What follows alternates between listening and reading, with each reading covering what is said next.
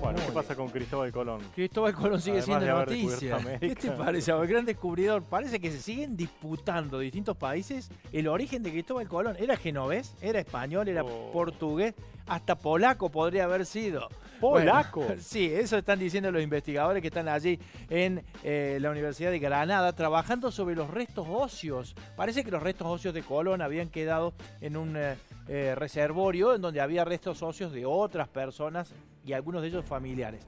Primero tienen que separar eh, los restos óseos por, por cada uno de esos cuerpos y después empezar a investigar el ADN y la característica de estos huesos para saber eh, si era eh, en realidad español, portugués, polaco o genovés como nos hemos creído durante todo el tiempo. Se cree que era genovés, pero hay teorías que apoyan otras hipótesis. Podría haber sido gallego, vasco, mallorquín. Bueno, él había muerto ya el 20 de mayo de 1506 en Valladolid y dejó como legado este interrogante rodeado de misterio, el verdadero origen.